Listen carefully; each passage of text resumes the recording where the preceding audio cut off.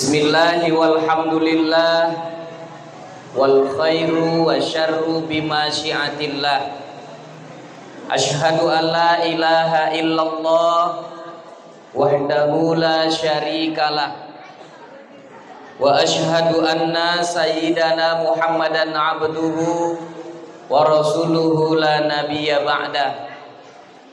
Allahumma salli ala sayyidina Muhammad wa ala alihi wa sahbihi wa mawalah Qala Allah Ta'ala fi kitabihil karim Bismillahirrahmanirrahim Subhanalladzi asra bi'abdihi lailam minal masjidil haram ilal masjidil aqsa alladzi barakna haulahu linuriyahu min ayatina innahu huwas samiul basir sadaqallahul azim atas segala nikmat yang Allah berikan kepada kita sampai saat ini sehingga kita bisa bersama-sama hadir kumpul di halaman masjid yang penuh dengan kemuliaan ini. Yakinlah Bapak Ibu, orang yang duduk di majelis ilmu, orang yang duduk di majelis taklim, majelis sholawat semisal ini teroris,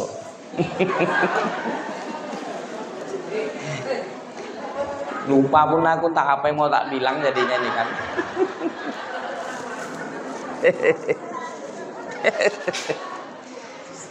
Hari ini saya dua kali dikageti bu pertama waktu solawatan yang buat kaget yang mukul besi itu buang katanya kan. Kaget aku.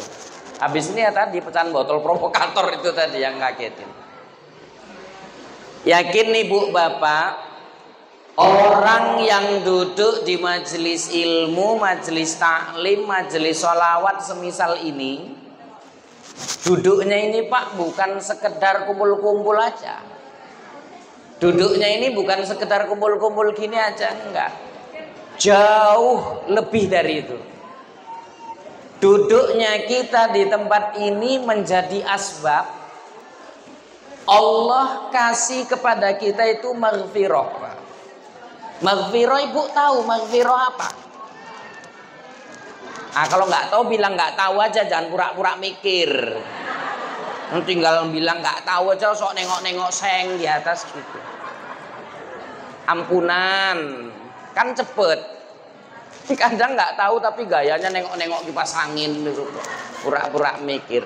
Maghfirah itu ampunan. Jadi semua orang yang duduk di sini tanpa terkecuali siapa pun itu. Mau ketua BKM diampuni dosanya, Pak. Pak Kepling pun diampuni, Pak, dosanya. Wah, bilang aminnya Pak Kepling kuat kali, Bu. Koriknya pun juga ya kan, Zat. Termasuk yang ceramah, Pak. Diampunin semua dosa kita nanti. Sekeluar kita dari masjid ini semuanya diampuni Allah dosanya. Amin walaupun nanti sambil jalan pulang buat dosa lagi kan nah, itu tanggung jawab masing-masing yang penting duduk di sini dapat maghfirah keluar dari tempat ini Allah ampuni dosa kita Salawat dan salam juga kita perbanyak kita hadiahkan pada junjungan kita Nabi besar Muhammad sallallahu alaihi wasallam dengan ucapan Allahumma salli wa sallim wa barik alaih. Mudah-mudahan kita semua keluarga kita mendapat syafaat beliau di yaumil akhir kelak. Amin ya rabbal alamin.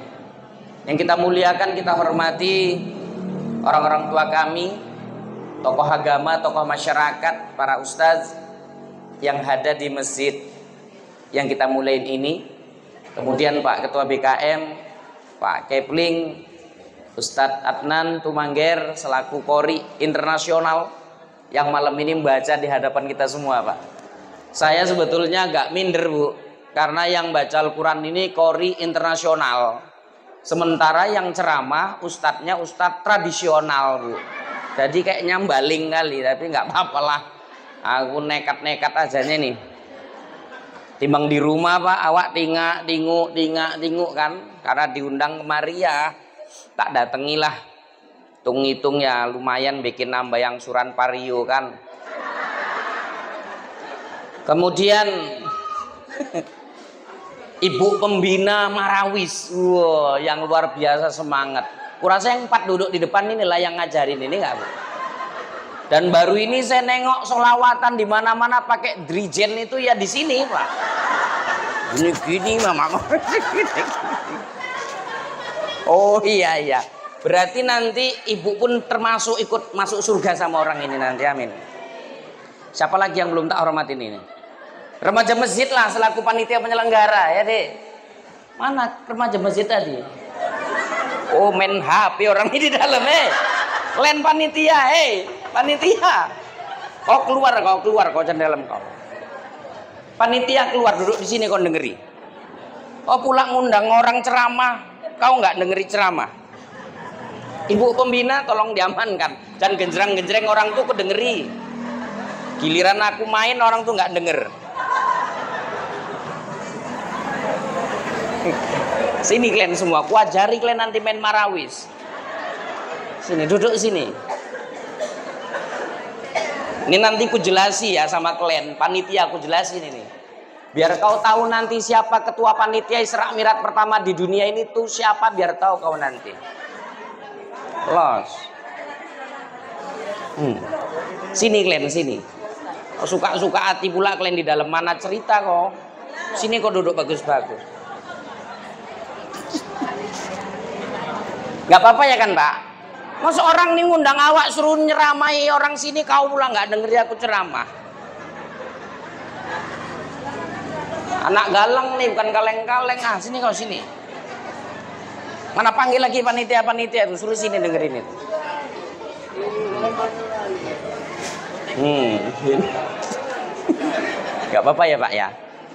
Biar ngaji len. Contoh tadi waktu selawatan gini-gini kau waktu selawatan.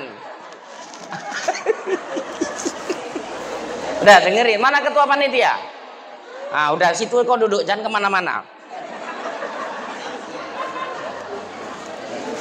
Ini acara sukses karena siapa bu? Karena orang inilah, ya kan? Tepuk tangan dulu untuk orang ini semua bu. Ya.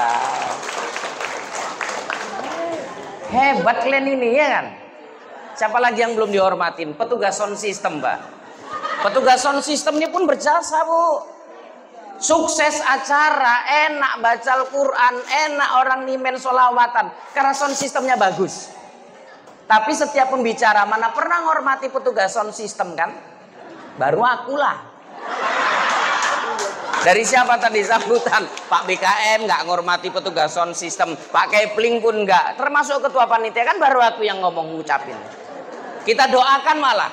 Mudah-mudahan petugas sound system kita malam ini dimasukkan ke dalam surga bersama sound sistemnya. Amin ya. Dek, kau tahu siapa ketua panitia pertama Isra Mirat di dunia ini? Aku jelasin kau biar jangan sampai kayak dia kau ya. Bu, Bapak ngaji dulu. Dulu waktu Nabi Muhammad pulang Isra Mi'raj, itu kan kondisi umat saat itu Pak goyang gitu. Ada yang semakin kuat imannya. Ya kan? Ada yang bimbang, yakin sama enggak. Bahkan ada yang murtad keluar dari agama Islam. Karena orang semua bimbang, datanglah Abu Jahal. Abu Jahal, Pak. Abu Jahal ini datangi Nabi Muhammad. Muhammad, kabar-kabarnya tadi malam kau Isra Mi'raj Mekah Palestina Sidratul Muntaha balik lagi kemari. Iya katanya. Kalau memang betul, berani nggak kau ceritakan perjalanan Isra Mi'raj yang kau alami kepada orang Mekah sini kata. Iya kata Nabi. Oke, kalau emang kau berani, nanti ku kumpulkan ya orang Mekah.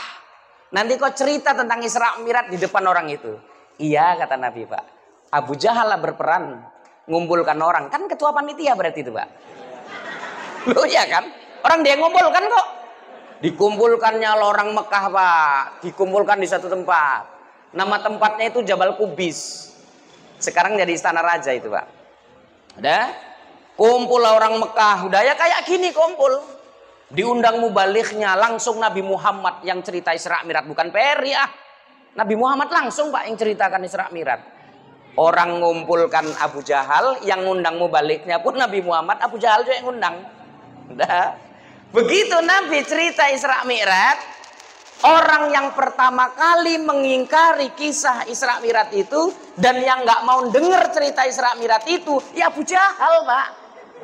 Walaupun dia yang ngundang Nabi untuk cerita Isra Mi'raj, dia yang mengumpulkan orang Mekah kumpul untuk dengarkan cerita Isra Mi'raj, tapi dia yang mengingkari dan nggak mau dengerin itu. Makanya tadi saya mau kalian kumpul semua biar jangan jadi kayak Abu Jahal kalian. Cuma pandainya ngumpulkan orang, undang ustadz suruh ceramah Isra Mirat, kalian nggak dengeri. Banyak nggak sekarang panitia Isra Mirat mirip kayak Abu Jahal itu? Banyak, diundangnya orang kumpul. Bapak Ibu, hadirnya beramai-ramai. Peringatan Isra Mirat yang akan dilaksanakan di Masjid Baitul Solihin. Yang akan disampaikan oleh Ustadz Ferry Sabtadi Putra. Dan kori internasional kita Ustadz Adnan Tumangger Datang orang semua kumpul. Yang ngumumkan ini entah ke mana mukanya nggak tahu apa. Jangan jadi abu, maka di sini kau duduk. Aku paling benci nengok panitia ngundangi orang tapi dia nggak mau denger. Oh, marah-marah kok pulang sana. Tapi amplop kok titipkan sama BKM. pula kok pulang amplop kok pulang putus aku. Astagfirullah. Kita ngajinya santai-santai aja kan Pak Kevling ya, nggak usah kaku-kaku lah. Udah suntuk ngedepin hidup di rumah. Dateng Isra Mi'raj tambah suntuk lagi. Ibu percaya nggak? Kalau yang buat kita sakit itu Pak, sebetulnya bukan perkara makanan. Tapi pikiran. Percaya itu? Percaya. Ada orang diajak makan duren, dibayari dua buah besar dimakan nggak naik kolesterol pak. Begitu dia seneng sehat diajaknya ponaannya kakaknya abangnya adiknya makan durian dibayari sepuas-puasnya. Dia ikut makan dua biji kecil kontan naik kolesterolnya itu. Kenapa? Karena dia mikir. Mikir bayarnya berapa lah ini. Nengok ponaannya kok geragas-geragas sekali kan Jadi yang buat sakit apa tadi? Pikiran. Makanya ngaji itu nggak boleh stres pak. Ngaji itu santai aja. Ya pak, jangan ngaji kurtola, toleh aja. Aduh ya Allah. Saya ini serak mirat pertama kali saya ceramah di sini nih. Makanya saya mbak kopean. Paling ada yang bilang ustadznya nggak pengalaman nengok buku los. Ustadz mau nengok kopean sama nggak nengok kopeannya jatahnya sama kok. Timbang salah aku pak ya kan, timbang salah ngomong pak aku tak tengok. Ibu bapak, kau denger ini panitia. Isra Mi'raj ini ibu bapak, peristiwa yang besar. Yang sulit diterima akal pak. Tapi mohon maaf, bukan berarti nggak masuk akal. Paham ini maksudnya Pak? Isra Mi'raj ini sulit diterima akal, iya. Tapi bukan berarti nggak masuk akal. Mohon maaf. Orang-orang yang mengingkari Isra Mi'raj di masa Nabi karena mereka menerima peristiwa Isra Mi'raj ini dengan akalnya tanpa iman, Pak. Maka dia nggak yakin, Pak. Tapi kalau orang yang memiliki iman, apa pun yang datangnya dari Allah, apa pun yang datangnya dari Nabi, kalau iman yang nerima, nggak ada yang nggak mungkin, Bapak Ibu. Kenapa orang menolak Isra Mi'raj? Karena akalnya main tanpa iman. Dia berpikir logika, nggak mungkin. Mekah, Palestina itu jaraknya jauh. Lah dalam Isra Mi'raj Nabi kok cuma sebagian malam, Pak. Logika nolak, logika nggak mungkin. Perjalanan tiga bulan pergi balik normalnya pak. Tapi hanya ditempuh Nabi sebagian malam. Logika siapa pun nolak itu. Apalagi orang yang nggak ada iman Pak Kepling. Bu, tapi kalau Allah yang berkehendak, nggak ada yang nggak mungkin. Itu makanya pelajaran pertama Bapak Ibu malam ini apa pun yang datangnya dari Allah terima dengan iman. Apa pun yang diajarkan Nabi terima aja dengan iman. Baru akal boleh mikir supaya nggak sesat.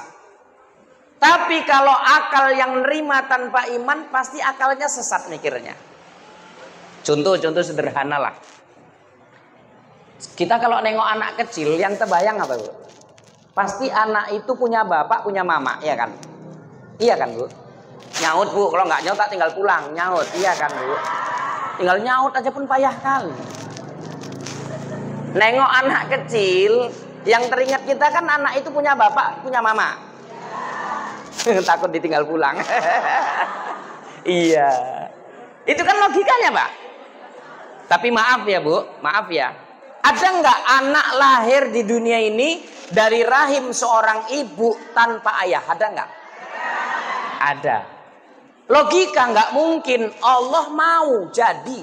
Siapa coba? Nabi Isa alaihissalam lahir di dunia dari rahim seorang ibu tanpa ayah. Logika nggak mungkin. Tapi Allah berkehendak jadi sejarahnya ada. Lahir di dunia manusia tanpa bapak tanpa mama ada nggak? Ada. Siapa coba? Nabi Adam ini paten di sini Nabi Adam. Semalam aku ceramah di Serdang Bedage itu. Siapa manusia lahir di dunia tanpa bapak, tanpa mama? Ibu-ibu itu bilang Ipin Nupin, sakit kali hati awak. Ipin Nupin. Ipin Nupin kan yang ada cuma siapa opa sama Kak Ros, gak ada mama bapaknya. Aku sakit hati kali nih jawaban ibu itu. Ada pernah juga siapa manusia lahir di dunia tanpa bapak, tanpa mama? Anak remaja jawab, sang gokong lah Ustaz. Kata sang gokong. Aduh, ya Allah. Nabi Adam lahir di dunia tanpa bapak, tanpa mama. Logika nggak mungkin. Allah berkehendak jadi, Pak. Maaf ya, Pak ya. Kalau Allah udah berkehendak nggak ada yang bisa ngimbangi, nggak ada yang nggak mungkin. Apalagi cuma Isra Mi'raj. Bu, contoh lagi nih, contoh lagi ya. Mohon maaf tapi ya. Ini cerita akal sama iman. Kalau akal mikir tanpa iman sesat. Contoh. Mohon izin, mohon maaf kali saya. Sperma itu suci apa najis, Bu? Suci lah, Bu. Kok najis pula? Kalau najis ya kita ini semua najis lah. Kok yang enggak-enggak aja. Masa awak ceramah di depan najis-najis kan enggak mungkin. Suci. Bilangnya najis kuat pula itu. Suci. Najis pak? Yang ceramah pun najis. Yang baca Al-Quran najis. Kok yang enggak enggak aja. Suci. Mohon maaf ya. Orang yang baru mengeluarkan sperma, hukumnya wajib mandi, Pak. Iya enggak? Ini syariat. Terima dengan iman, jangan akal yang terima. Dah. Kalau akal terima nanti protes. Coba bandingin satu lagi, Pak. Kencing najis sama suci? Najis. Tapi orang yang baru kencing, Pak. Udah, nggak wajib mandi. Ini syariat, terima aja dengan iman, nggak usah protes. Kalau akal yang terima tanpa iman pasti akal ibu protes. Apa kata akal? Udah nggak betul ini syariat Islam. Sperma aja yang suci wajib mandi kok. Masa kencing yang najis nggak wajib mandi katanya? Kan logika itu pak.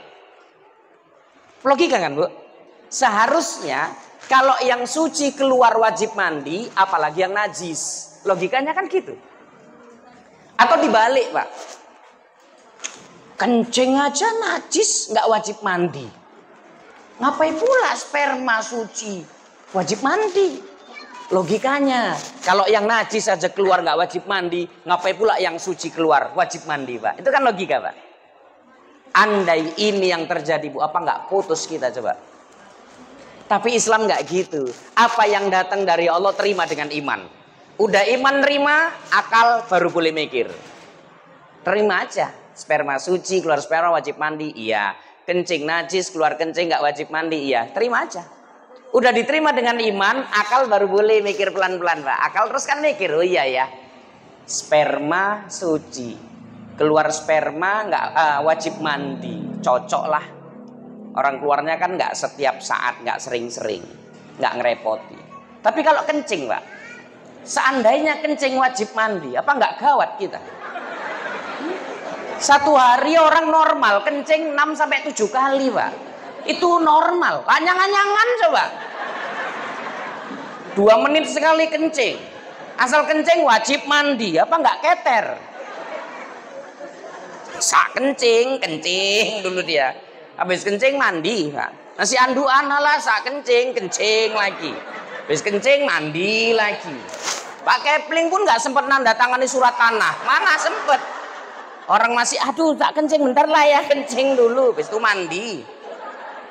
Siap mandi sak kencing lagi, nggak rapat-rapat Pak Kepling itu. Redup bawa kayak ikan gabus, kencing mandi, kencing mandi, dia air aja. Ah, kalau gini bisa diterima akal nggak Bu? Bisa. Yang penting akalnya harus dibalut dengan iman. Nah Isra Mirat itu pun gitu. Logikanya yang nggak mungkin Mekah Palestina sebagian malam itu kan akalnya manusia. Tapi Mekah Palestina ini Isra miratnya Nabi bukan maunya Nabi Pak. Tapi maunya Allah. Kalau udah Allah yang mau, gak ada yang gak mungkin.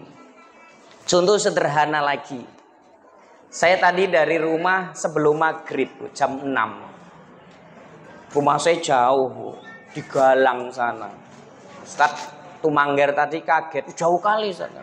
Tapi kalau untuk dakwah jarak nggak menjadi penghalang ya kan Pak. Apalagi masjid ini katanya udah langganan pula awak ya kan. Gaya, gaya. Biasanya kalau langganan mau raya dapat kurnia itu ibu bapak yang dimuliakan. Saya dari rumah jam 6 tadi. Udah, Pak. Kemudian nih logika sederhana ya, Pak ya, logika sederhana Ibu. Dari rumah tadi saya ada apa namanya? semut. Semut di kantong baju saya, semut. Terus saya berangkat jam 6 sampailah ke Medan, Isya di sini tadi. Begitu acara semut saya semut yang di galang tadi Pak keluar ngintip nengok gini loh. Orang-orang Medan ini kata orang Johor ini katanya gitu. Udah nengok dia orang Medan masuk lagi dia Pak. Terus nanti saya pulang, ikut pulang dia. Ini jam berapa? Jam 10, jam 12 nanti saya sampai rumah. Begitu saya sampai rumah jam 12, nanti kan semut ini turun Pak. Kumpul lagi sama semut galang. Ditanya lah sama kawan-kawannya dari mana kok mut katanya. Gak nampak-nampak dari sore tadi. Ngaku ke Medan kok. Loh kapan kok pergi katanya. Tadi jam 6. Wah gila kau. Mosok jam 6 pergi ini jam 12 sudah sampai sini lagi. Mana mungkin. Kalau menurut logikanya semut kan nggak mungkin pak. Semut jalan kaki dari Galang kemari jam 6 pergi jam 12 sampai logikanya nggak mungkin kan. Tapi masalahnya semutnya jalan sendiri. Kan enggak. Semutnya diperjalankan pak. Siapa yang memperjalankan? Saya. Saya naik mobil orang semutnya tinggal nengkreng di kantong jubahnya. Nah begitulah Isra Mirat ini kira-kira Pak. Isra Mirat ini Rasul nggak jalan sendiri, tapi Rasul diperjalankan. Siapa yang memperjalankan? Allah Subhanahu wa taala. Maka pelajaran pertama, Pak, peristiwa Isra Mi'raj yang bisa menerima hanya orang manusia yang ada iman di hatinya kepada Allah Subhanahu wa taala. Maka tingkatkan kualitas iman dan takwa kita kepada Allah Subhanahu wa taala. Ini aja udah megap awak ya kan? Kau dengerin ini. Oh nanti siapa bisa jawab pertanyaan hadiahnya limpul. Minta bapak mula. Aku lagi suruh berpikir ngasih kau limpul. Awak aja pun belum jelas kok. Saya pernah deh ceramah kayak gitu. Saya seneng kalau ceramah itu remajanya diem gitu kan. Seneng saya remajanya dengeri ceramah. Jadi waktu itu Saking senengnya saya, saya panggil satu orang. Saya kasih pertanyaan, bisa jawab, saya kasih limpul. Rupanya Ustaz, aku kan diam juga. Maju, kasih limpul lagi, kasih pertanyaan. Waktu itu ada tujuh orang deh. Tujuh orang Pak Kepling kali limpul, udah 300 limpul. Rupanya aku pulang panitia cuma bawa 400. Alah, Pulang cuma bawa limpul, bawa jatahku sama jatah orang tuh sama. Ah. Makanya aku hari ini pun ku tengok-tengok nanti lah ya. Saya biasanya kalau pulang ceramah bawa rezeki lebih, tangan saya gatel. Nah, ini sampai sekarang ku tunggu-tunggu belum gatel-gatel ya kan, jadi selalu kau. Enggak lah ibu, sini saya udah paham. Enggak usah kan ku buka, cium aja udah terasa. Ibu bapak yang dimuliakan Allah. Sedikit cerita tentang Isra Mi'raj sejarahnya ya Pak ya, supaya kita juga dapat kisahnya kisah. Dulu Nabi Shallallahu Alaihi Wasallam di awal perjalanan itu Rasulullah sedang berada di Hijr Ismail bersama dua sahabatnya yang bernama Hamzah dan Ja'far. Siapa dek? Kau inget ini Hamzah sama Ja'far. Nabi sedang di Hijr Ismail saat itu, Pak. Hijr Ismail itu gini. Nah, ini kan peta ini ya. Ini eceknya Ka'bah ini, Bu. Ini ecek-eceknya Ka'bah ya. Ka'bah itu kan ada empat sudut. Di sini ada sudut Hajarul Aswad namanya. Hajarul Aswad. Kemudian di samping Hajar Aswad itu ada pintu Ka'bah. Antara pintu Ka'bah sama Hajar Aswad itu namanya multazam. Di sini orang doa kabul doanya itu. Kemudian di sininya itu ada kayak sangkar burung itu. Itu namanya makom Ibrahim. Itu bukan kuburannya Nabi Ibrahim ya Pak. Tapi tapak kakinya Nabi Ibrahim. Dulu waktu bangun Ka'bah, Nabi Ibrahim itu memijak itu. Tempat tapak kakinya itu namanya makom Ibrahim. Dah. Kemudian di sini, eh di sini, ya di sini di sini itu ada namanya Hijir Ismail yang tingginya setinggi badan orang dewasa dan membentuk setengah lingkaran. Itu namanya Hijir Ismail. Dulu Nabi di situlah. Kalau kita Bapak Ibu pergi haji, pergi umroh, bisa nanti masuk ke dalam Hijir Ismail dan sholat di dalamnya, maka samalah seperti kita sholat di dalam Ka'bah. Jadi Nabi dulu di situ sebelum berangkat Isra Mi'raj itu, Pak. Di situ dulu Nabi Isra e, bersama Ja'far dan Hamzah tadi. Kemudian datanglah malaikat Jibril, Mikail. Dalam satu riwayat dijelaskan malaikat Israfil satu lagi. Kemudian Nabi Muhammad dibawa, Pak. Nabi Muhammad dibawa ke sumur Zam-Zam. Sumur Zam-Zam itu dekat di situ.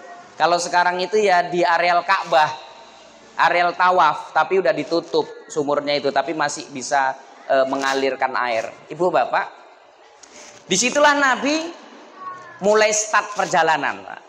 Mulai start perjalanan itu dari Hijri Ismail itu. Bertiga Nabi sama Hamzah sama Ja'far, kemudian datang Jibril membawa Nabi Muhammad ke sumur Zam-Zam, dibelahlah dadanya. Dalam kitab ini dikatakan dari bawah leher sampai ke pusat kemudian dibersihkan hatinya. Bu, mohon maaf, Bapak. Makna dibersihkan hati di sini bukan berarti Nabi itu hatinya kotor, bukan. Bukan berarti Nabi itu punya banyak penyakit hati, bukan tapi dibersihkan hati itu untuk memasukkan menambah kebaikan-kebaikan di hatinya baginda Nabi Muhammad Sallallahu Alaihi Wasallam. Karena Nabi itu nggak kotor hatinya, Nabi itu nggak rusak hatinya, Nabi itu nggak punya penyakit hati, tapi dibersihkan untuk menambah kebaikan-kebaikan, kemuliaan-kemuliaan di hati Nabi. Dah, selesai dibersihkan hatinya, kemudian ditutup lagi dan ditempel dengan stempel kenabian. Itu menandakan tidak ada nabi lagi, Pak, setelah Nabi Muhammad. Maka kalau ada pengajian yang gurunya ngaku nabi, udah nggak usah ikut lah sesatnya itu. Berapa banyak sekarang kan Pak nabi-nabi palsu yang ngaku-ngaku nabi, Legino pun ngaku nabi, lucu Pak. Mana ada nabi, nabi namanya Legino? Kalau nabi namanya Legino, kau tadi solawatan kayak mana coba?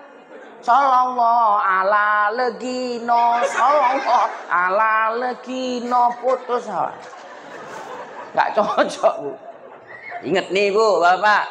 Kalau ngaji itu pun tengok-tengok. Ini sedikit-sedikit nanti bisa ini, bisa ini jadi nabi. Bisa ini ngobat-ngobati sedikit jadi guru, jadi nabi. Enggak enak itu, Bu. Ya enggak sembarangan. Dah, distempel kenabian. Kemudian Nabi Muhammad sallallahu alaihi wasallam setelah disempel dengan stempel kenabian, Jibril memanggil buruk. Bu, Bapak, mohon maaf. Buruk ini binatang.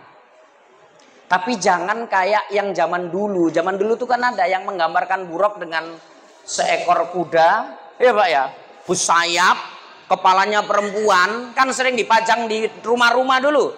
Kalau ada yang masih kayak gitu di rumahnya copot bakar. Itu menghina Nabi itu. Nabi naik buruk nggak kayak yang digambarkan itu. Buruk itu hewan binatang yang dulunya sebelum dinaiki baginda Nabi, buruk itu sudah dinaiki oleh Nabi dan Rasul sebelum Nabi. Salah satunya Nabi Ibrahim. Saat dari Palestina ke Mekah untuk melihat anak dan istrinya Nabi Ibrahim. Makanya Pak, mohon maaf, ketika buruk datang mau dinaiki Nabi, Nabi Muhammad agak payah naik buruk itu. Karena buruk ini menunjukkan kesombongannya Pak. Dia loncat sana, dia loncat sini. Kalau orang Jawa bilang apa ya? Petekelan, lasak, loncat sana, loncat sini pecicilan, loncat sana, loncat sini. Kenapa? Dia sombong. Karena dia adalah binatang kendaraan para nabi dan rasul. Dia nggak tahu Nabi Muhammad adalah manusia yang paling mulia, bahkan lebih mulia daripada nabi dan rasul yang lainnya. Saking pecicilannya si buruk tadi, ditegur buruk sama malaikat Jibril. Wahai buruk, jangan sombong engkau. Karena yang ingin menaikimu ini adalah manusia paling mulia. Lebih mulia daripada orang-orang yang pernah Nabi dan Rasul yang menaikimu di masa yang lalu itu. Kemudian buruk terasa malu, Pak. Buruk diem langsung meneteskan air mata buruk nggak bisa berkata apa-apa lagi. Ini pelajaran yang kedua Pak, mohon maaf saya. Jangan kita sombong ketika mm, apa namanya ya berkaitan dengan Nabi Muhammad itu jangan pernah sombong Pak. Buruk aja yang sombong malu di hadapan Nabi. Masa kita sombong? Contoh, kita yang sudah mampu mengamalkan sunnah Nabi ini jangan memandang remeh, memandang rendah orang yang belum mampu mengamalkan sunnahnya Nabi. Ini kadang-kadang mau izin mohon maaf ya Pak, awak yang udah berjubah-jubah ini bilang sunahnya Nabi, mandang remeh sama yang pakai celana, sama yang pakai sarung keliru itu. Ya Bu, paham ini maksudnya? Bapak-bapak paham ya Pak? Jangan aku alhamdulillah aku. Pulang umroh aku istiqomah aku bisa pakai jubah mau ngamalkan sunah Nabi. Tengok dia itu beberapa kali dia pergi umroh, masuk pulang umroh masih pakai sarung aja nggak sunah Nabi sarung itu. Berarti salah nggak dia? Salah. Dia sombong terhadap kesunahan Nabi. Nggak betul juga itu Bapak Ibu. Saya sekali-sekali pakai jubah, sekali-sekali pakai sarung, sekali-sekali ya pakai celana lah. Tengok-tengok tempat juga. Kok pas lagi ngaji-ngaji gini pakai jubah, lagi ngajar-ngajar pakai sarung, lagi jalan-jalan ke Danau Toba, awak naik speedboat ya nggak mungkin nak pakai sarung. Apa nggak gawat awak ya kan dek? Nah speedboat itu mau pakai sarung bekibar, sarung awak terakhir kan. Bekibar sarung itu orang terakhir nggak nengoki batu gantung, nengok awak semua gara-gara bekibar itu kan. Batu gantung itu di Danau Toba kan ada batu gantung itu nggak usah mikir yang enggak enggak. Ya, pasti mikirnya yang lain-lain. Ah, salah ngomong aku ceng lah, males. Rusuh ibu-ibu ini Ustaz Tatnan mikirnya enggak enggak aja. Ya aku sedikit pun enggak ada mikir ke situ-situ loh ibu yang mikir itu. Langsung bayangin itu. Jadi jangan sampai kita yang berusaha untuk mengamalkan sunnah Nabi tapi ada kesombongan pak. Dengan memandang orang lain dengan pandangan kelemahan keliru itu. Bapak-bapak yang udah mampu berjenggot karena mengikuti sunnahnya Nabi, jangan mandang yang nggak berjenggot nggak sunnah Nabi, Pak. Aku pernah sakit hati kali dibilang orang ah, Ustad, percuma lah Ustad. Masa jenggotnya dirapi, jenggotnya pendek katanya. Merapikan jenggot dosa kecil, nyukur jenggot sampai habis dosa besar. Perkara jenggot pun neraka awak dibikinnya. Pak, lain orang kan lain modelnya.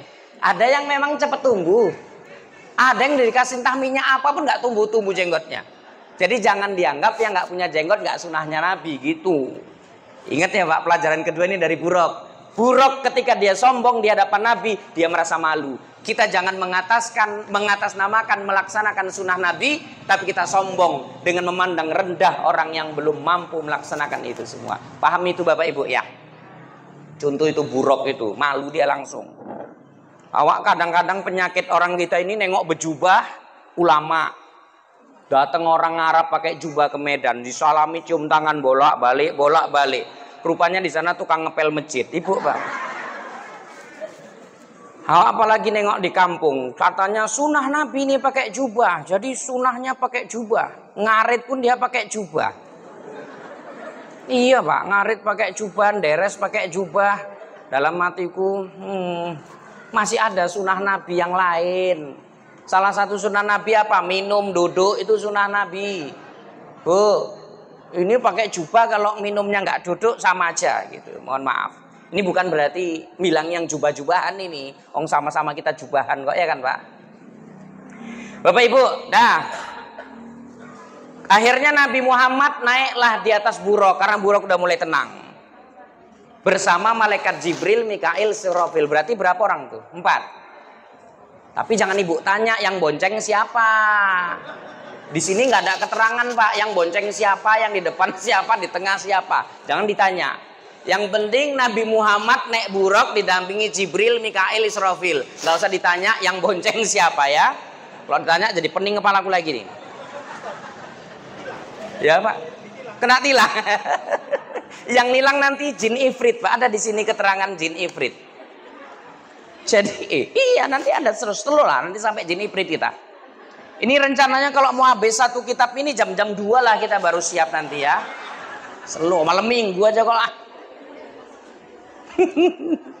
Ustadz Temangger membaca lagi deh jam 11 nanti nih. Ibu bapak, jalanlah Nabi Shallallahu Alaihi Wasallam dengan malaikat Jibril naik buruk ini. Udah. Kemudian dalam perjalanan itu Nabi dibawa oleh malaikat Jibril ke satu tempat. Berhentilah buruk itu di satu tempat. Begitu berhenti buruk itu, kemudian Rasulullah Shallallahu Alaihi Wasallam disuruh turun. Kemudian Rasulullah Shallallahu Alaihi Wasallam disuruh sholat pak sama malaikat Jibril. Selesai sholat Nabi, terus kan banyak ini loh. Tapi kata Isra Mi'raj apa? Sholat itu setelah Isra Mi'raj. Kenapa masih pertama jalan udah disuruh sholat? Bu, sholat menjadi syariat wajib lima kali sehari semalam itu setelah Isra Mi'raj. Tapi sebelum Isra Mi'raj udah ada sholat. Cuma waktunya dua waktu, pagi sama sore. Berhenti di suatu tempat, Rasulullah di, eh, malaikat Jibril mengatakan kepada Rasulullah, "Inzil fasalli hahuna." Ya Rasul, turunlah, sholatlah kau di sini, kata malaikat Jibril. Rasulullah pun sholat, Pak.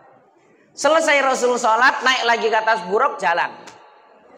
Di dalam perjalanan ditanya sama malaikat Jibril, ya Rasulullah, atadri aina sholaita. Tahukah engkau tadi sholat di mana ya Rasul? Kata Rasulullah, lah, nggak tahu aku katanya. Ini pelajaran ketiga Bapak Ibu. Apa itu? Rasul ditanya Jibril, atadri aina sholaita. Ya Rasul, Tahukah engkau tadi sholat di mana? Rasulullah jujur pak jawab, lah gak tahu aku. Apa pelajaran ketiga? Bapak ibu, kalau ditanya orang nggak tahu bilang aja nggak tahu, nggak usah gengsi. Nabi aja sekelas Rasul pak, sekelas Nabi ditanya malaikat atadri aina sholaita. Dia bilang la, la adri, aku nggak tahu. Awak kadang-kadang ditanya nggak tahu pun sok tahu, kadang-kadang ngarang ya kan pak. Apalagi kalau udah takjiah itu aku palak nengok mama-mama kalau udah takjiah. Macam ketua dewan fatwa MUI dia, Pak. Jangan disenggol, nanti batal wuduknya itu. Ingat ibu, mayit itu udah nggak ada syariat sama dia. Mana ada mayit batal wudhu? Mama-mama ini pun kadang-kadang kok udah takjiah recok aja. Jangan disenggol, batal wudhu. Kalau batal wudhunya gotong lagi, bak ke belakang, wudhui lagi. Disenggol lagi, batal lagi, gotong lagi, bawa ke belakang, wudhui lagi. Remayitnya pun sambat, mumet kang, mumet kang, gotong rono, gotong rini aja terakhir kan. ya enggak, enggak aja. Yang batal yang hidup pak, yang udah meninggal mana ada batal. Ada lagi yang bilang, jangan nangis, jangan nangis. Mana ada orang suami ninggal bini nggak nangis bu, bu. Nangis boleh, meratap nggak boleh. Datang ibu yang sok tahu, jangan nangis, jangan nangis. Coba, andai ada suami meninggal, istri nggak nangis, curiga orang. Iya kan Pak? Pak Kepling pernah nengok suaminya ninggal, istri nggak nangis, ditanya malah cengenges ketawa-ketawa. Kak, abang kok ninggal? nggak tahu lah, emang udah kayak gitu lah pula kan. Hmm. Rasa dibilang orang, oh bini gila kau itu katanya gitu. Namanya sedih, laki ninggal nangis ya wajar. Yang nggak boleh meratap. Paham ibu? Nggak tahu bilang nggak tahu, nggak usah sok tahu. Itu Nabi itu yang ngomong. Mohon maaf, takjiah itu Bapak Ibu, lain daerah kan lain Pak. Untuk melaksanakan jenazah itu lain daerah lain Pak. Kalau di sini mohon maaf, meninggal laki-laki, kepalanya di mana? Kalau pas nyolatkan itu Pak. Kanan Pak. Ninggal perempuan di kanan juga, Pak. Lain daerah di Serdang Bedaga itu ada satu kampung, tapi ya sesuai syariat juga. Kalau ninggal laki-laki, kepalanya di kanan. Kalau ninggal perempuan, kepalanya di kiri.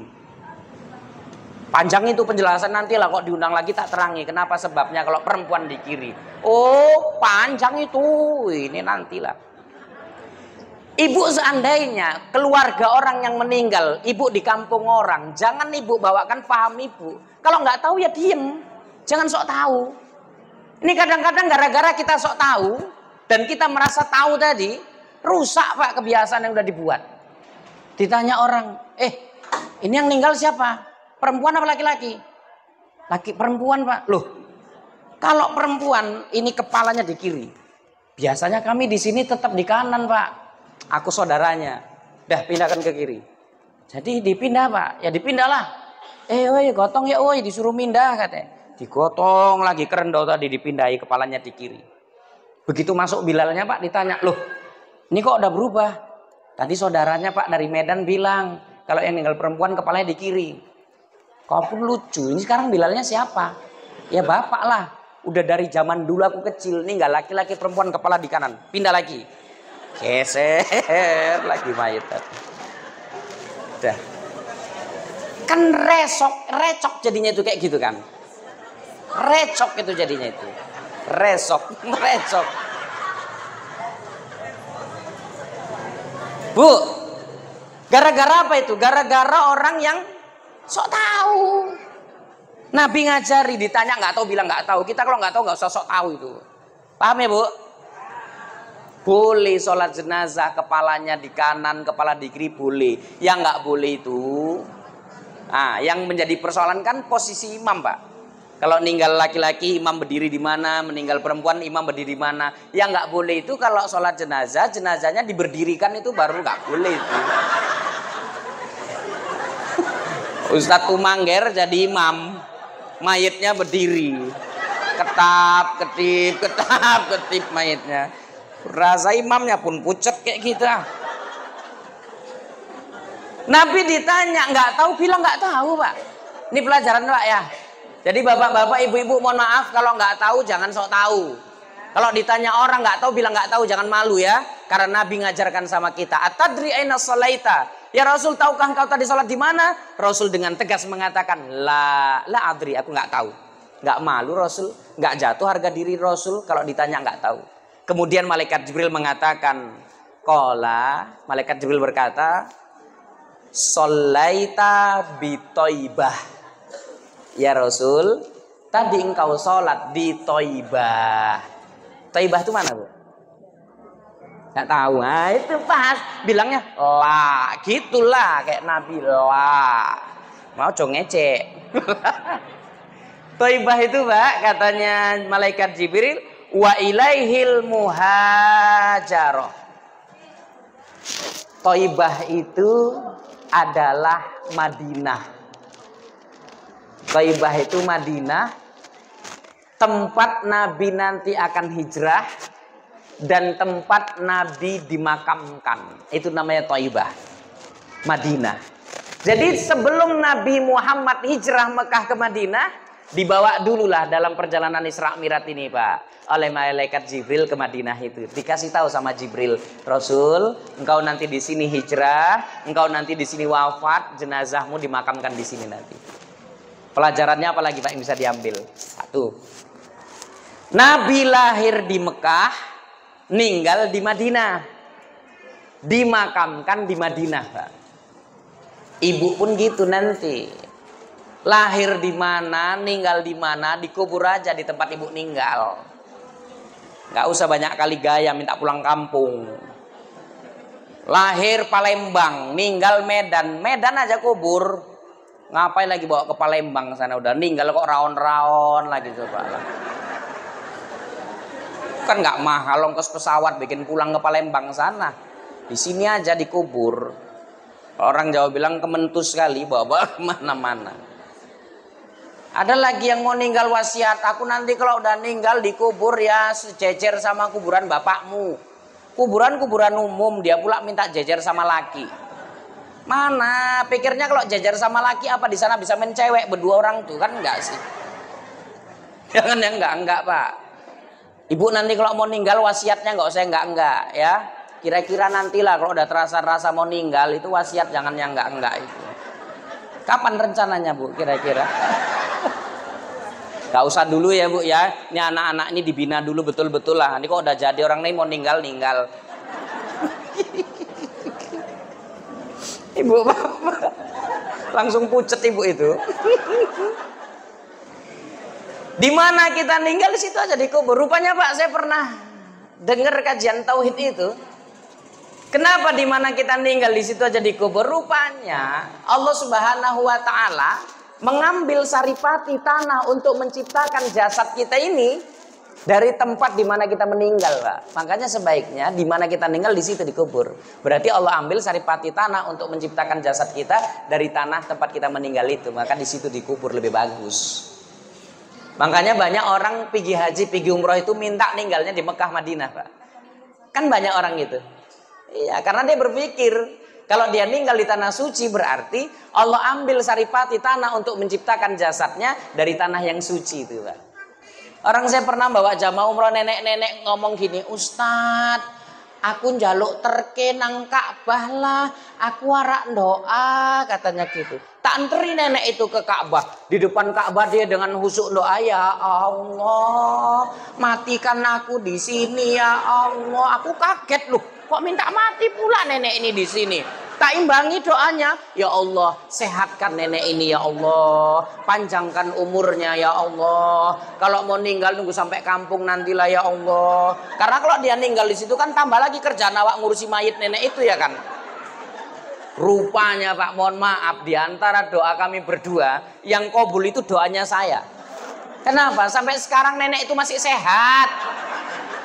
Nek kereta masih bisa balap kok Pak. Bawa tabung gas pakai along-along itu. Wow, lincah nenek itu. Kupikir paken juga doa gua pikir kenapa orang pengen tinggal di sana? Karena berpikir berarti kalau tinggal di sana saripati tanah yang diambil Allah untuk menciptakan jasadnya diambil dari tanah yang suci itu. Jadi kalau ninggalnya di tanah suci pak. Yang kacau kalau ninggalnya di tanah sengketa itu baru kan Makanya gaduh aja hidupnya. Ya kayak itu orang rebutan tanah. Hati-hati bu, kalau bawaannya mau gaduh aja berarti bisa jadi tuh. Diambil Allah dari tanah sengketa itu. Madinah, Pak. Ibu nggak rindu sama Nabi ke Madinah? Kata Rasul, tidak sampai ke Madinah tuh Nabi, nggak sampai ke Madinah Al Munawwarah itu kalau nggak diundang oleh Rasulullah. Kayak mana supaya diundang sama Rasulullah bisa sampai ziarah ke Madinah? Banyakin solawat. Apalagi bulan ini Pak. Ini bulan Sya'ban. Rojab syahrullah, Sya'ban syahri, Ramadan syahru umati.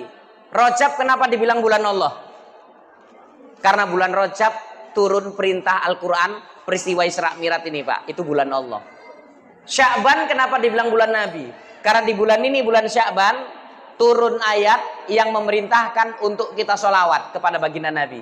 Surah apa Ustaz? Al-Ahzab ya. Al-Ahzab ayat 56. Innallaha wa malaikatahu yusalluna 'alan nabi ya ayyuhallazina amanu sallu alaihi wasallimu taslima. Itu turunnya bulan Sya'ban. Maka kita di bulan Sya'ban ini disuruh banyak-banyak sholawat. Ibu, saya senang tadi nengok adik-adik ini tampilannya sholawat, bernilai kebaikan dan bernilai pahala. Salawat itu boleh diiringi rebana, boleh. Orang salawat itu dilagui-laguin pun boleh kok. Enak Ustadz Jeffrey Al-Bukhari dulu inget Pak. Lagu nggak enak, lagu jelek aja bisa jadi bagus karena sholawat. Ya kan? Ya Rasulullah salamun alaik Ya Rafi asyani wad daraji jirotal alami Ya Allah Ya uhailal judi wal karomi Ya Allah, ya Allah, ya Allah, ya Allah, ya Rasulullah. Coba lagu aslinya kan jelek itu, corok itu.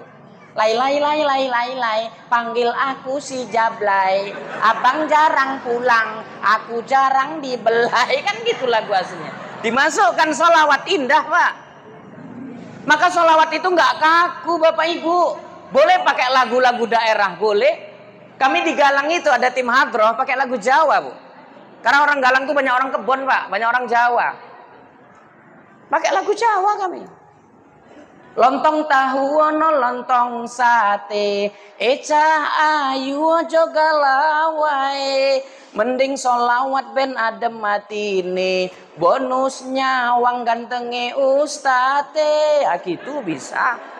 Suka-suka kami lah Kami yang selawatan kok ibu pula Untuk anak lajang ada anak lajang Butoi jongun tal kadal Ono cuek ke ada kopi.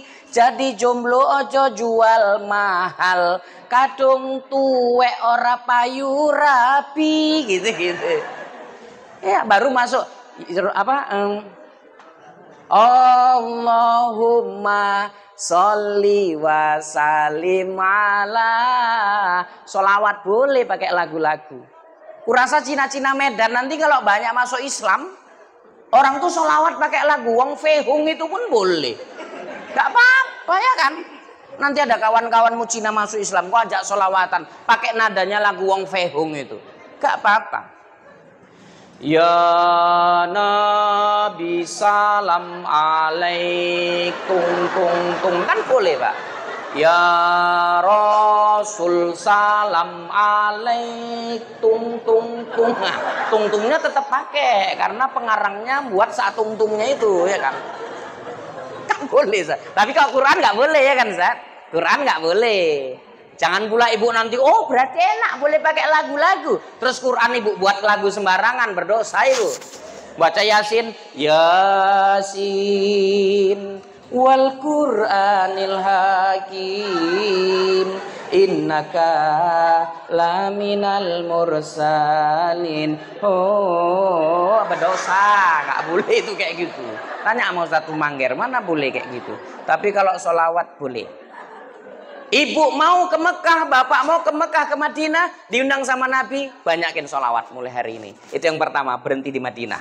Jalan lagi. Ini sampai jam berapa tadi, Dek? Ya enggak-enggak aja jam 2, jam 2. Ya, ngasih cuma berapa kok nyuruh sampai jam 2 pula lagi. cecek ya Pak, cecek. Nanti mikir ini ustadznya gila duit aja. Mana ada aku mikir-mikir kayak gitu. Aku teringat kali dulu pernah waktu ceramah. Saya lagi duduk kayak gini lah pas duduk sama Ustadz Mangger, jejer kami gini. Tiba-tiba ada kakek-kakek di sampingku bilang gini. Nah, udah tua kakek ini sarungnya berserak, baju nggak dikancing. Kakek ini bilang gini, nak, nak ceramah sing ikhlas yo. Cuma ngomong gitu pak, tapi nyocok kali di hati gua. Nah, kalau ceramah yang ikhlas ya, gitu aja kakek itu ngomong, nyocok kali ya. Aku begitu ceramah nggak berani lama-lama pak. Yang terbayang muka kakek itu sambil ngomong, nah, nak ceramah sing ikhlas yo. 15 menit lebih saya ceramah pak. Kepikiran kakek itu turun aku berkeringet ah. Nggak aku salami kakek itu aku tinggal pulang. Panitia pun nggak tak salami tak tinggal pulang aja itu. Iya teringat aku. Di dalam mobil sama yang nyupir tak tengok loh kok kayak kakek itu lagi? Sambil ngomong nak nak ceramah sing ikhlas yo waduh gitu pak. Sampai rumah wak tidur ngelilir bangun malam nengok biniku loh kok kayak kakek itu juga? Sambil bilang nak nak ceramah sing ikhlas yo. Asli pak bu.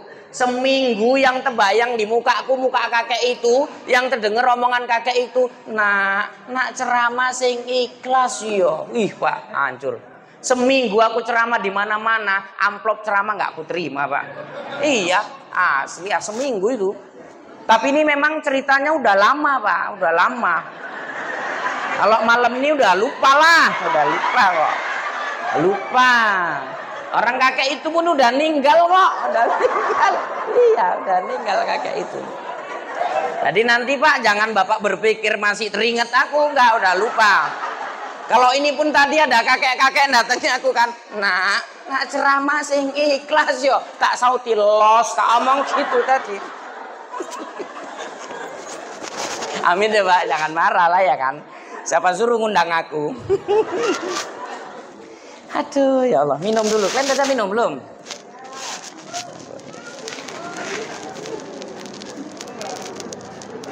Hari ini nggak pakai TPT pak, nggak.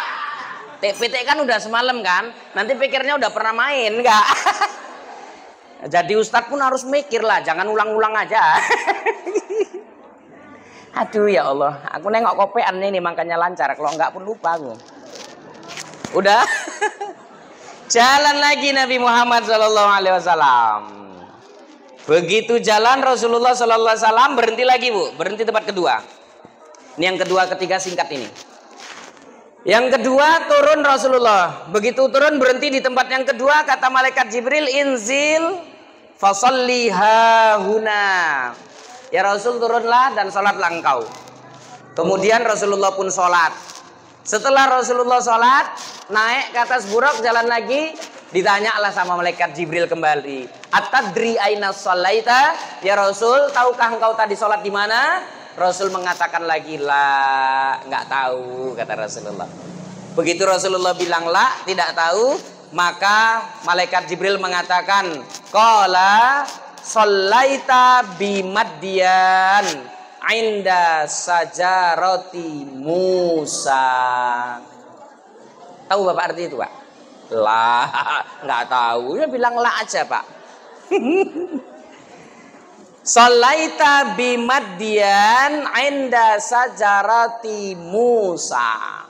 Ya Rasul, kata malaikat Jibril, tadi engkau sholat di Madian.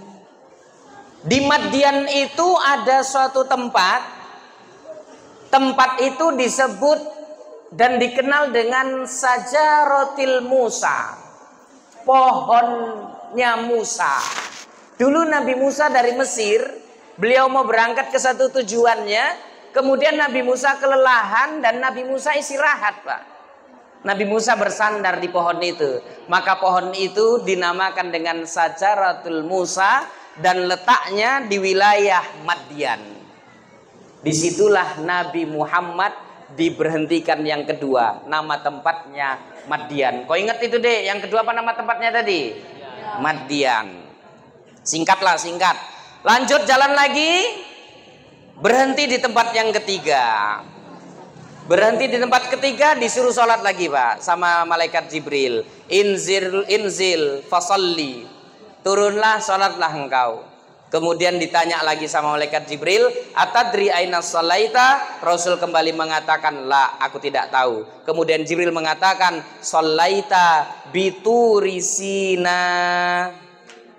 haitsu kalamallahu Musa tempat kesing tempat persinggahan yang ketiga di Bukit Tursina. Bukit Tursina ini tempat haitsu kalamallahu Musa. Tempat Nabi Musa berdialog dengan Allah Subhanahu wa taala. Jadi Pak, Bukit Tursina itu dulu tempatnya Nabi Musa dialog. Nabi Musa ini sama umatnya ditanya dan dituntut. Musa, kalau emang kau benar Nabi, tunjukkan kepada kami. Kau minta kepada Tuhanmu itu. Wah, tunjukkan wujudnya. Maka Nabi Musa minta sama Allah untuk menunjukkan wujudnya Allah. Tapi Allah nggak mengizinkan. Kemudian Allah menunjukkan kebesarannya di satu bukit, di satu gunung. Dan gunung itu meledak. Membuat Nabi Musa tidak sanggup akhirnya pingsan maka Nabi Musa mohon ampun kepada Allah Subhanahu wa taala. Itu namanya Bukit Tursina. Di situ juga Nabi Muhammad berhenti.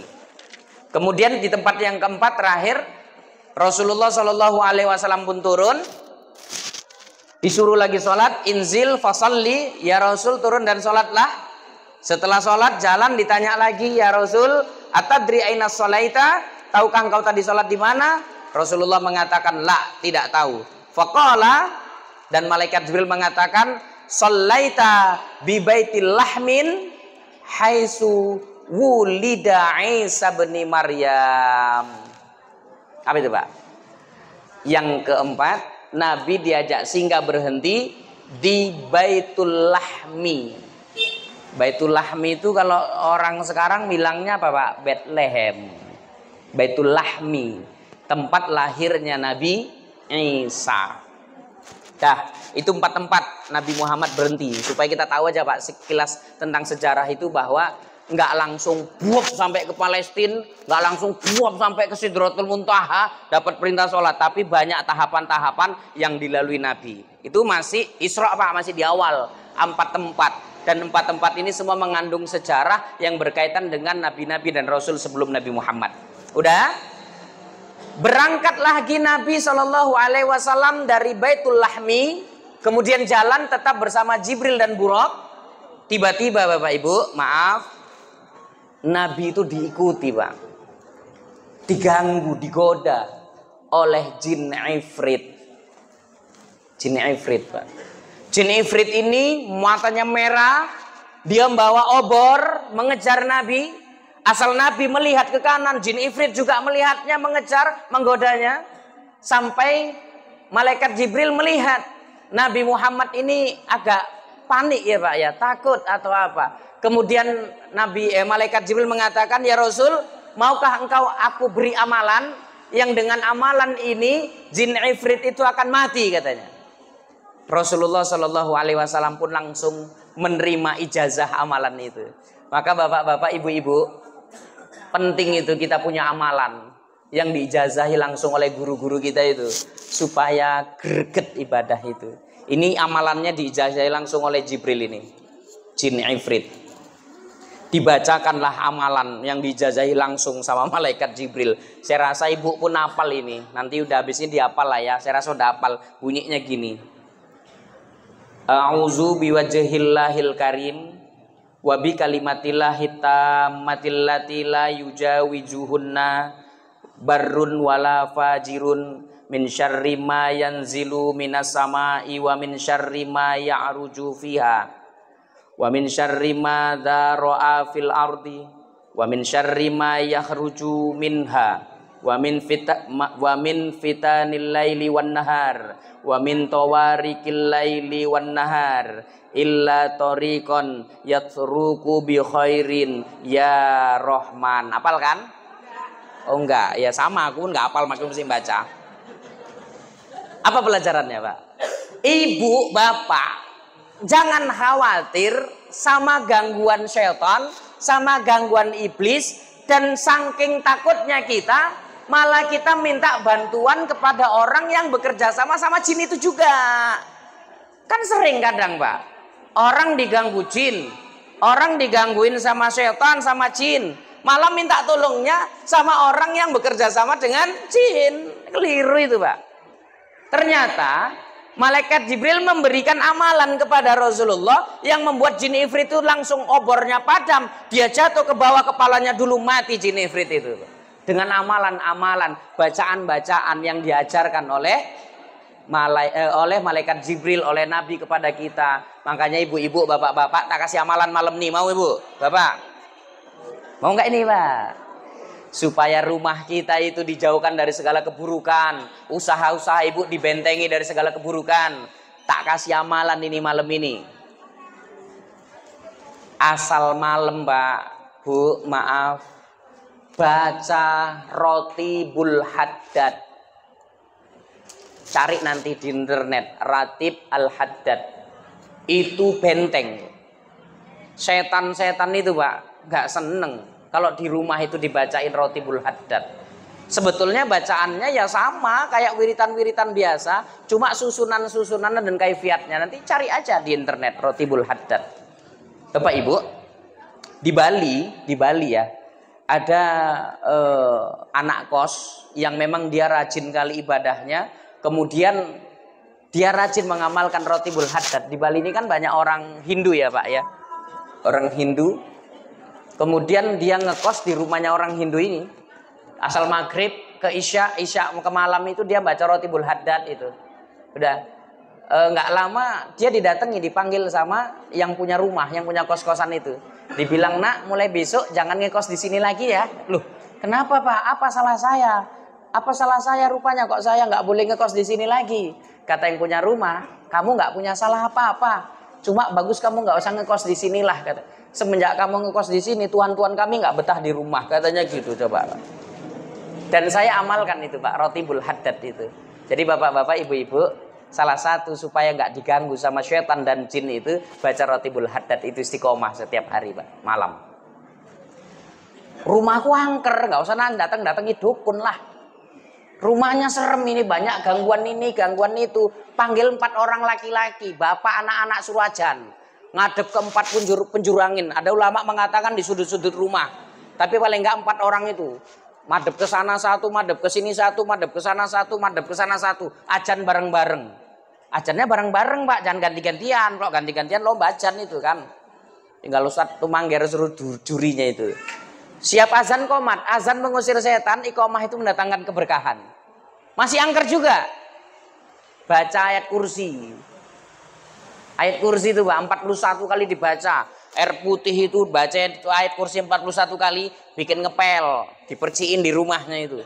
Setannya minggat itu Pak.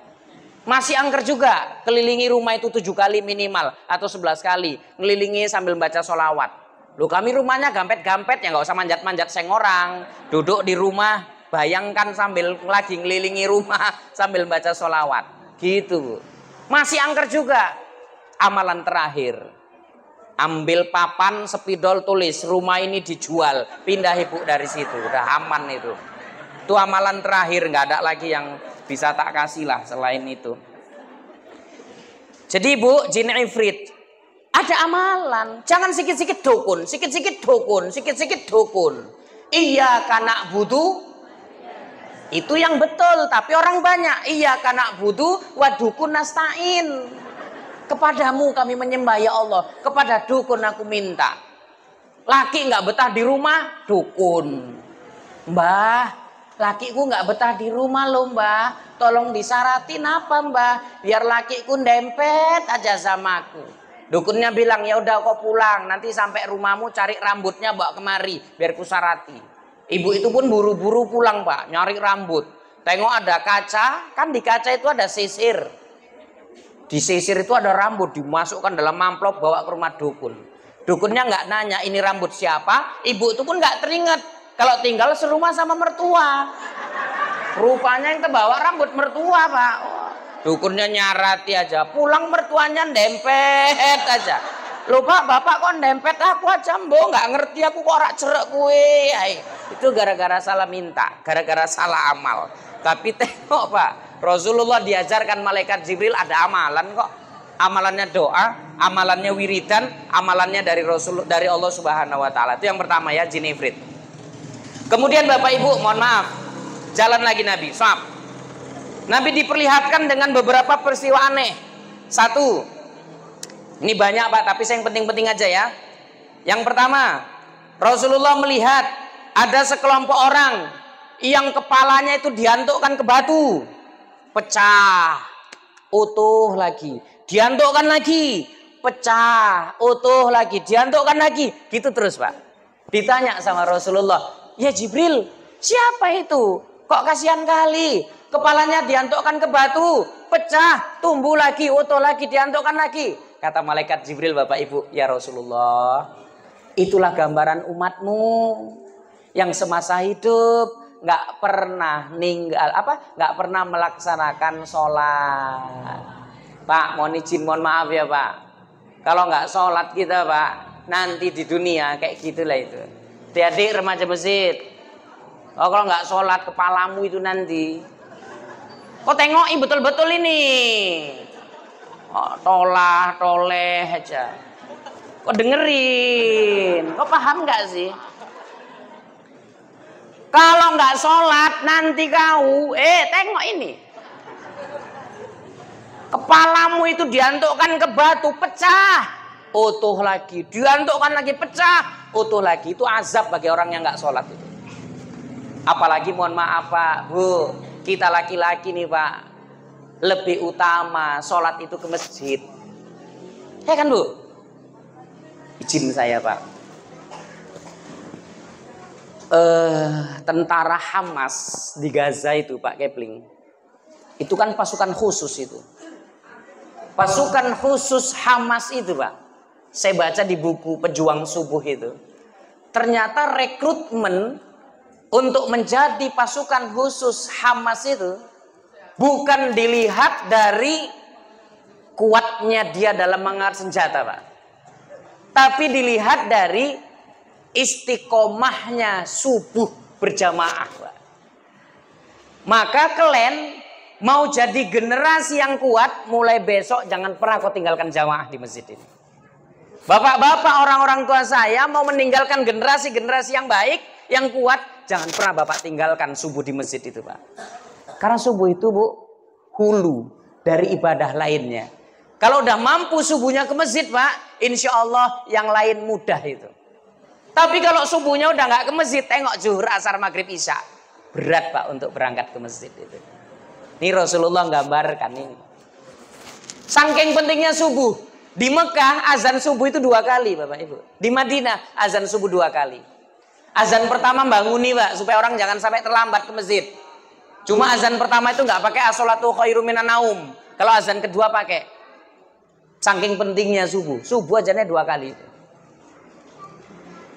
Asolatu khairu minan naumnya pun beda sama kita. Kebanyakan di Medan ini. Kalau di Mekah itu kalimat asolahnya lebih panjang dari naumnya pak. Asolatu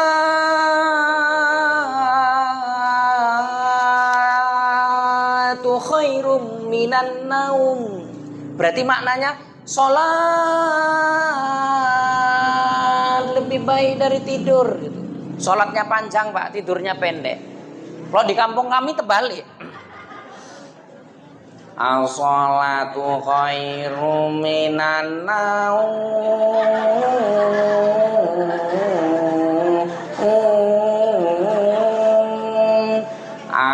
As-salatu khairu minan Orang melek pun merem gara-gara awak itu. Berarti maknanya kayak mana itu? Salat itu lebih baik dari tidur. Ah bapak-bapak yang biasa ajan jangan terus merajuk ya pak. Besok nggak mau ajan lagi. Pak ajan pak, prek aku ajan. Oh biasanya bapak kok males aku. Oh kayak mana orang biasanya dia kok males aku. Nggak kok denger Ustadz semalam ceramah. Yang dipraktekan kan plek kayak ajanku kali itu katanya. Terus besok nggak mau ajan. Buat aja pak, nggak apa-apa. Tapi kalau bisa kalian yang muda-muda ini. Kau. Yang kau tadi selawat. Ya hanana, ya. Wah, gini gini. Kan suaranya bagus. Kau yang ajan besok. Nah, sering bu. Jadi bu bela-bela. Sering azan sini. Ketua panitia sering azan. Khutbah aja ya, khutbah enggak. Siapa yang nggak bangga punya anak azan di masjid, ya kan bu? Saya yakin tadi, waktu Ustadz Adnan Tumangger baca Al-Quran, apa yang terbayang di pikiran ibu? Hah? Coba kalau anakku kayak gitu, ya kan? Bisa jadi mantu nggak ini? Pasti gitu. Cuman Ustaz, kira-kira bisa kita jadikan nggak? Iya kan bu? Itulah harapan orang tua pak. Anak mampu di masjid berperan bisa ajan ya kan? Kau aku, aku dulu masih lajang-lajang di masjid itu gaduh pun mau aku rebutan ajan itu. Kenapa tahu kita fadilah azan itu? Nanti lihat dalam kitab fikih Takriratus Sadidah itu Pak. Di situ diterangkan ada empat ulama yang menerangkan mana lebih utama muazin atau imam. Dari empat pendapat ulama ini Pak, cuma satu yang mengatakan imam lebih utama timbang muazin. Yang tiganya mengatakan muazin lebih utama daripada imam. Hebat kalian deh ajan itu. Eh, sepanjang nafas muazan sebanyak itu dosamu diampunin Allah. Maka mana ada orang ajan pendek-pendek. Lakbar lakbar. Lakbar lakbar. Sadu la ilaha. Sadu nama Rasulullah, sadu nama Rasulullah.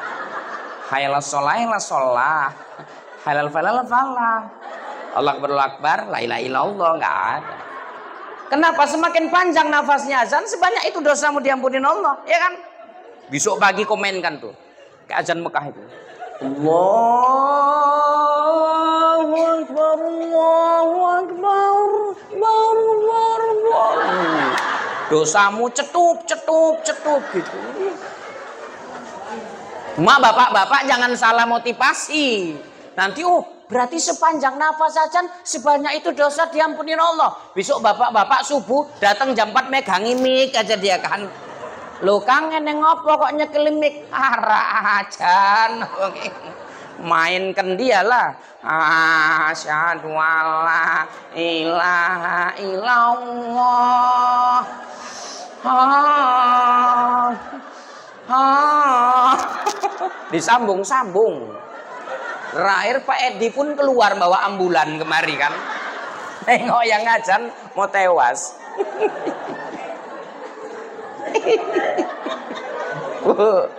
Ya Allah. Hmm. Dek, kau tahu nggak? Allah janjikan seorang muazin yang memandangkan azan di masjid itu.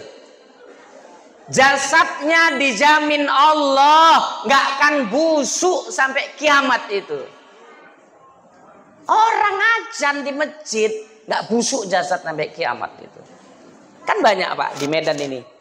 Dibongkar kuburan karena mau dibangun ini, mau dibangun itu. Begitu dibongkar jenazah masih utuh.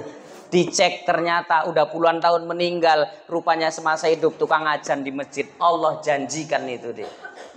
Kau bersyukur kau tukang ajan di masjid gak busuk jasad sampai kiamat. Iya bu. Aku pernah ngaji kayak gitu ada yang nanya, Ustaz, yang Ustaz jelaskan kan tentang tukang ajan itu. Iya, gak busuk Ustaz sampai kiamat. Enggak, janji Allah itu. Jadi Ustaz amit lah, aku kayak mana ya? Aku biasanya komat aja semana ya kan lu. Awak nerangkan ajan dia nanya komat. Ya aku nengoki mukanya pun kasihan deh. Dia tak bilang ya udahlah busuk separuh lah tak bilang itu. Tuh kalau tukang komat pak busuknya separuh. Ya sempet kerjaannya cuma ngidupi sama mati intip.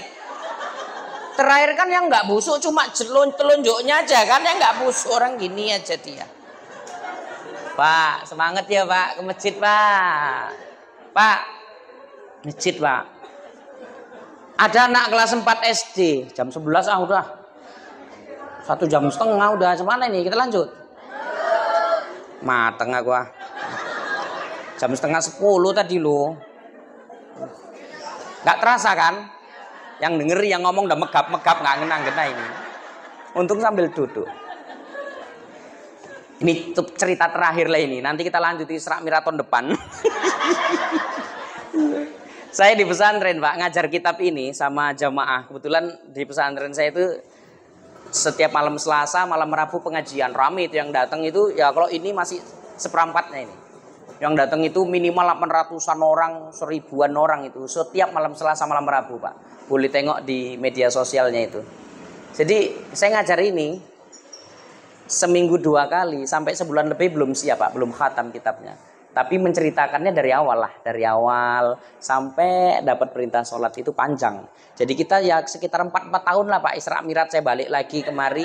Ah, tuntas lah itu nanti insya Allah tolong diagendakan pak ya. Selu lah pak. Selu. Bapak ibu. Jadi ada anak SD kelas 4 dia dimotivasiin sama guru agamanya. Kata guru agamanya, nak kalau sholat itu ke masjid katanya. Apalagi subuh, nanti fadilahnya itu ini, itu ini, itu katanya. Datang si anak, oh iyalah pak katanya. Pulang dia bilang sama bapak mamanya, pak mak besok adik bangun nih pagi ya, adik mau ke masjid katanya. Bapaknya nggak nyaut, mamanya pun nggak nyaut pak. Si anak tuh tidur.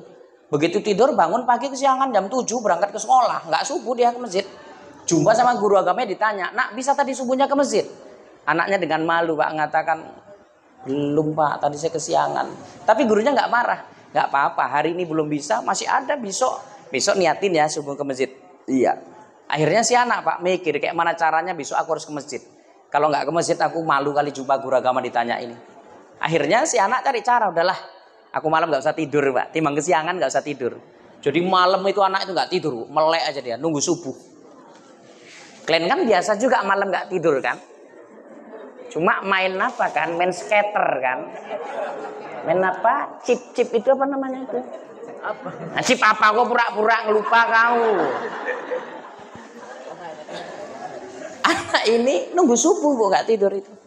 Begitu menjelang subuh dia mau keluar rumah pak. Gelap masih ah di kampung gelap nggak berani. Tutup lagi pintu duduk dia di ruang tamu. Gak lama kok dengar suara langkah kaki, keletek-keletek diintip dari jendela. Oh ada kakek-kakek pakai sarung, pakai peci, pakai baju koko. Kakek ini pasti mau ke masjid. Diikuti sama anak ini diam-diam ke masjid. Sampai di masjid sholat subuh aman. Kalau ditanya guru agama udah ada jawaban. Udah? Begitu mau pulang masih gelap, sunyi, takut dia. Nunggu kakek itu pulang, Pak. Begitu kakek itu pulang, langsung dia ikut pulang. Kayak gitu setiap hari. Sampai mohon maaf ibu bapak, eh, apa namanya si bapak anak ini heran anakku ini kok lain ya nggak kayak biasa katanya gitu katanya nggak kayak biasa. Kenapa? Anak-anak ini kan kalau biasanya mohon maaf ya pak. Kalau siang kan anak-anak itu main-main aja kan? Anak-anak kan siang itu main pak. Tapi anaknya bapak ini enggak siang tidur aja. Rupanya nyetel pak. Siang tidur malam melek. Supaya subuhnya jangan kesiangan. Gitu setiap hari. Sampai si bapak makin heran lagi, suatu hari anak ini nangis gak berhenti-berhenti. Nangis pak, gak berhenti-berhenti. Si bapak nanya, nak kau kenapa nangis kayak gini gak berhenti-berhenti, kenapa? Kata si anak, pak, kakek itu meninggal loh pak. Kakek yang mana? Kakek rumahnya di ujung sana itu loh. Kakek itu kan bukan saudara kita. Kakek itu kan bukan keluarga kita. Kenapa kakek itu meninggal kok nangis kayak gini? Gak berhenti-berhenti. Apa kata anak itu pak? Mohon maaf ya pak. Pak kata anaknya. Kok kakek itulah yang meninggal ya pak? Kok nggak bapak aja lah yang meninggal itu?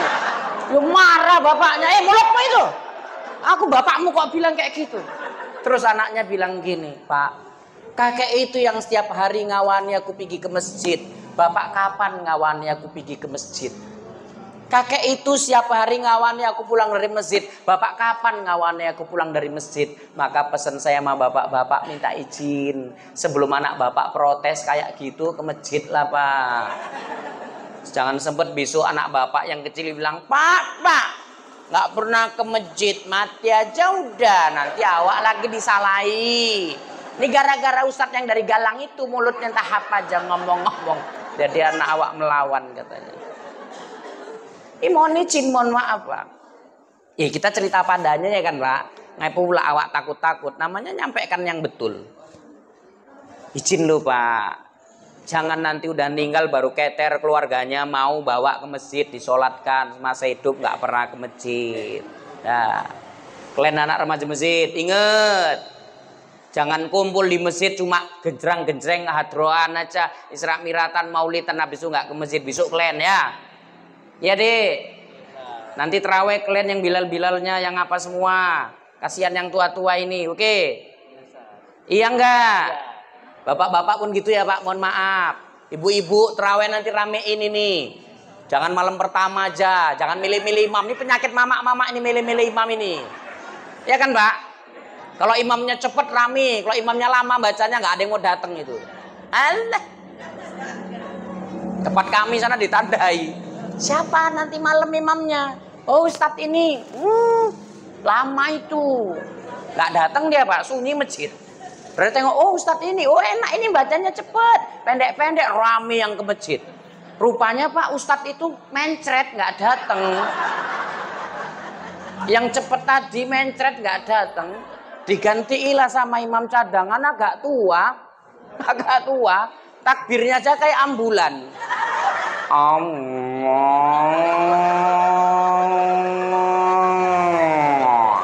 Allahu Akbar.